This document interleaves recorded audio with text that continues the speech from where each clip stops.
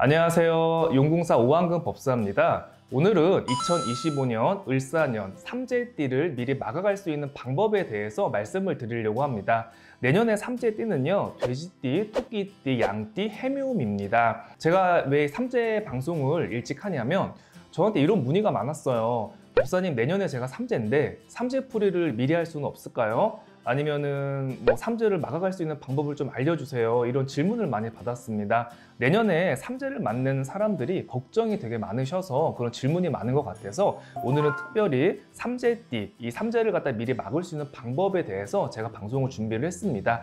돼지띠, 토끼띠, 양띠 분들은요 오늘 방송을 필수로 시청을 하셨으면 좋겠습니다. 어, 내가 이 삼재띠에 해당이 안 돼도요 우리 가족 중에 돼지띠, 토끼, 양띠에 해당하는 그런 가족이 있으면요 오늘 방송을 보시고 알려주면요 큰 사고를 막아갈 수가 있습니다.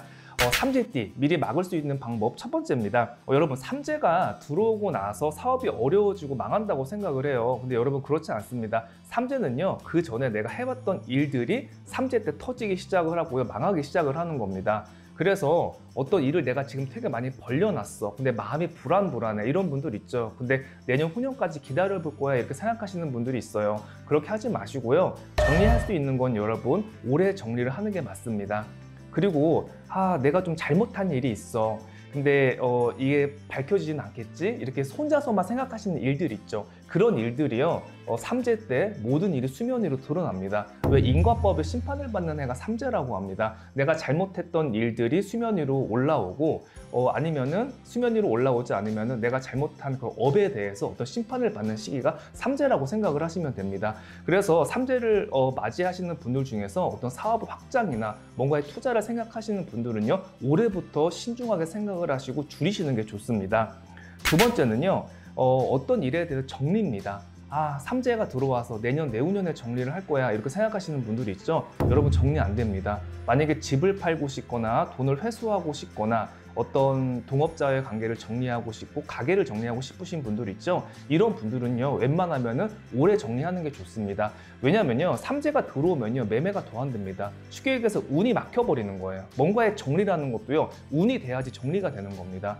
그래서 시간을 미루지 마시고요 빠르면 올해 아니면은 내년에 들어올 삼재 때라도 정리를 하시는 게 좋습니다. 이 삼재의 영향은요 사람마다 달라요. 들어올 삼재 때 크게 치는 사람이 있고 묵을 삼재 때 망하는 사람이 있고 나갈 삼재 때 죽거나 이혼을 하시는 분들도 있습니다. 근데 오한근 법사가 20년 동안 본 결과 들삼재보다도요 어, 묵을 삼재, 삼재 2년째죠. 그 다음에 나갈 삼재 때가 가장 안 좋습니다. 그래서 아직 기간이 올해하고 내년까지가 있기 때문에 뭔가 정리할 생각이 있으신 분들은 아 내가 조금 손해를 본다고 생각하더라도 정리를 하고 가는 게 좋습니다.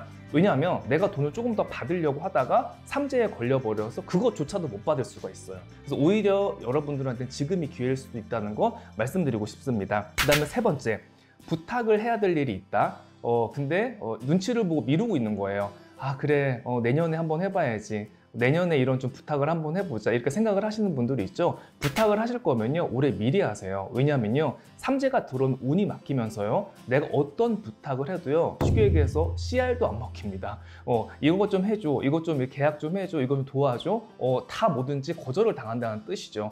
무조건 내가 운이 좋아야지 그 사람의 어떤 부탁도 내 부탁도 그 사람이 들어줄 수가 있습니다. 네 번째 사업을 여러분 절대 늘리지 마세요. 욕심을 줄이셔야 됩니다 어, 떤뭐 투자라든가 어떤 사업을 확장을 할 거 이렇게 생각하시는 분들 있죠. 올해 절대 하지 마시고요. 내년에 한번 중반기에 상황을 보시고 하셔도 늦지 않습니다. 여러분 삼재 때가 되면요. 어떤 특징이 있냐면요. 내 성격이 급해집니다. 그리고 판단력이 흐려져요. 뭐가 옳은지를 몰라요. 사람들이 그러죠. 내가 이 일을 해놓고 아 법사님 뭐에 쉬운 것 같아요. 아 진짜 내 정신이 아니, 아니었어요. 그러잖아요. 모든 게 운기가 안 좋고 삼재일 때 사람한테 당하고 판단력이 흐린 겁니다. 그래서 사업을 확장하실 분들도 웬만하면 은 지금 하지 마시고 내년 중반의 상황을 보시고 결정하셨으면 좋겠습니다. 그 다음은요 삼재풀이를 미리 할 수는 없나요? 이런 질문이 되게 많았어요. 삼재풀이를 미리 할 수는 없습니다. 동시가 지나서 내년에 삼재풀이 하는 게 맞고요 삼재풀이를 모두 다 해야 되냐 그게 아니에요 삼재 풀이보다 더 좋은 게 뭔지 아세요? 바로 집에서 연불 기도입니다. 집에서 관세음보살 찾고요. 원만히 반매음 기도하고요. 화엄성중 연불하면요. 삼재 소멸에 많은 도움이 됩니다. 그리고 제가 또 다음 방송에서 얘기를 하겠지만 악산을 타고요. 산에 다니면서 탁기를 내뿜고 좋은 기운을 빨아들이는 거. 이거 자체가 삼재의 기운을 갖다가 없애고 소멸하는 데 효과가 제일 좋습니다. 내년에 어, 들어오는 삼재들 걱정이 되게 많습니다. 근데 어떤 사람들이 이렇게 얘기를 해요. 아, 뭐 삼재라고 부터 나빠? 뭐 그런 건 아니지. 어, 물론 맞아요. 복삼재도 있죠. 근데 내가 직접 삼재를 어, 맞이해본 사람으로서 복삼재는 극히 드물다는 거 말씀드리고 싶어요. 만약에 우리가 삼재가 열이면요. 셋은 평범할 수 있겠지만은 일곱 명은 거의 다 힘들다. 내가 다치거나 내가 아프지 않으면 우리 가족 중이라도 분명히 슬픈 일이 있다는 거. 그래서 삼재 때는 우리가 어, 굉장히 쉽게 하던 일도 신중하게 생각을 하고 조심히 넘어가야 된다는 거 오늘 말씀을 드립니다.